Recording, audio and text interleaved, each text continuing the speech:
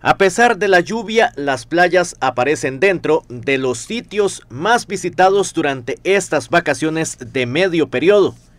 Es por eso que la Cruz Roja las contempla dentro de su plan operativo para estos días de descanso de la población estudiantil. Sí, correcto. la Cruz Roja, como siempre, se prepara al general de, este tipo de, situaciones.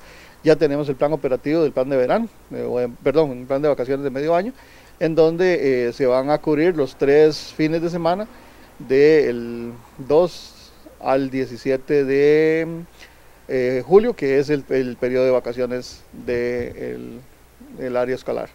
Varias playas de nuestra zona contarán con la presencia de la benemérita institución.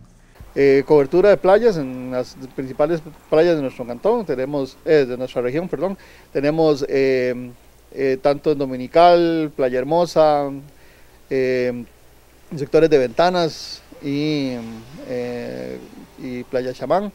Y por el sector de eh, más al, al sur tenemos en Playa Pavones y Playa Sancú, que todos están haciendo coberturas a nivel de todos los comités de la región, igual Playa Blanca, en Jiménez, y este es un operativo que igual que el de Semana Santa se mantiene en apoyo tanto con el personal que tenemos en fijo de guardavidas, que es el sector de Em, Ventanas y Playa Chamán, con, también con la colaboración de eh, los compañeros de Costa Bar, que también ellos están en Playa Hermosa y en Dominical, que también nos, que nos, unimos a ellos también a prestarles colaboración para la seguridad de los, de los bañistas. Hay consejos básicos que pueden colaborar para evitar alguna emergencia. Las recomendaciones de siempre, por favor, el, oleaje va a estar alto, eh, por favor no de si están, están tomando licor, no meterse al, mar, eh, esperar el tiempo prudencial cuando se, eh, después de comer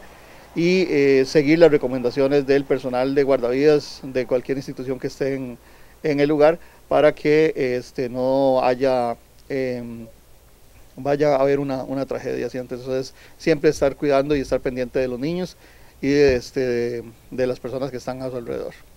Consultar a los lugareños o personal de emergencia sobre condiciones y características de la playa que visita serán de gran utilidad.